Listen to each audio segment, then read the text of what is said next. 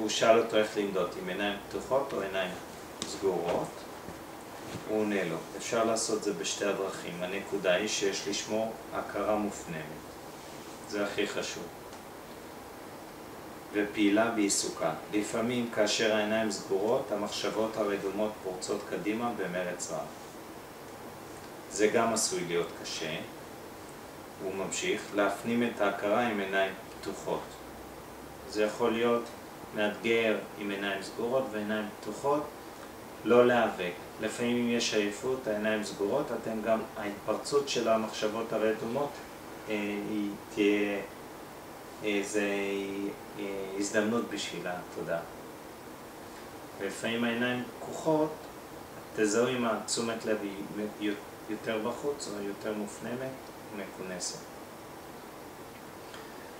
אז עיניים פקוחות דורש שההכרה תהיה חזקה. כאשר ההכרה נצמדת לאובייקטים, היא מזדהמת. מה זה אומר?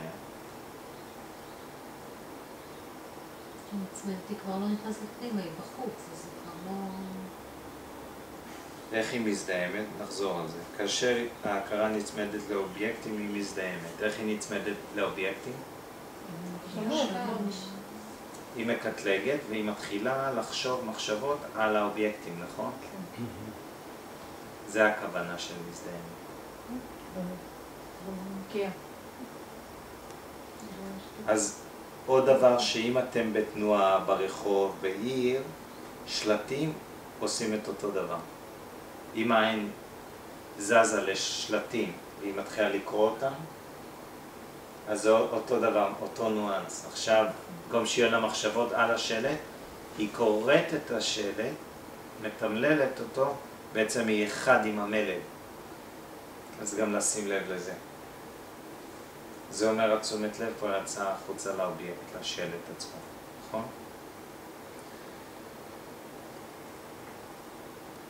מה, ש, מה שקובע הוא להרחיק מחשבות אחרות, לשמור את ההכרה בחיפוש אחר עצמה, מבלי לקבל רשמים חיצוניים או לחשוב על דברים אחרים.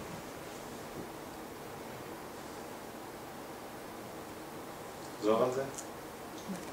הוא, הוא מדבר.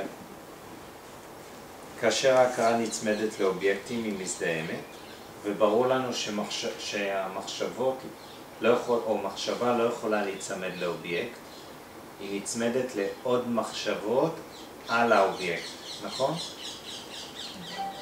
ואז מה, שקובע, מה שקובע הוא להרחיק מחשבות אחרות, זה אומר לא להתעסק עם כל מיני מחשבות, להרחיק אותם, איך מרחיקים? הבדלה או חקירה? ואז לשמור את ההכרה בחיפוש אחר עצמה. זה אומר ממוקדת, נכון? מבלי לקבל רש... רשמים חיצוניים, כי אז היא תתחיל להתעסק איתה. או לחשוב על דברים אחרים. אנשים יושבים ומתחילים לדכנן, או מה, מה הם הולכים לעשות, אה, איזה פרויקט הבא. ואז הם אומרים, מה הייתה לי? מדיטציה מאוד פוריה. אוקיי. רק אז הם לא מבינים